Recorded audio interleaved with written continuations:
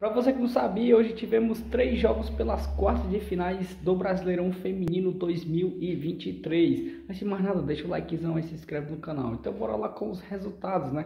Tivemos Internacional e Ferroviária é, no Rio Grande do Sul. E a Ferroviária levou a melhor com gol de Luana. Com isso tem a vantagem para o jogo de volta, podendo jogar pelo empate.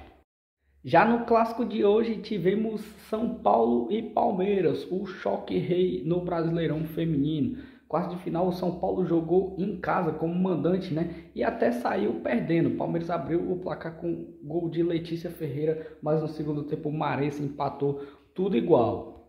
E no jogo onde mais movimentou gols, tivemos Santos e Flamengo, né? O melhor Flamengo e Santos, já que o jogo foi em volta redonda no Rio de Janeiro. O Flamengo, como mandante, não conseguiu segurar as sereias da Vila, que venceu por 3 a 1 né, com gols de Yaya, Cristiane e Taizinha. O Flamengo ainda descontou com Leidiane. Né?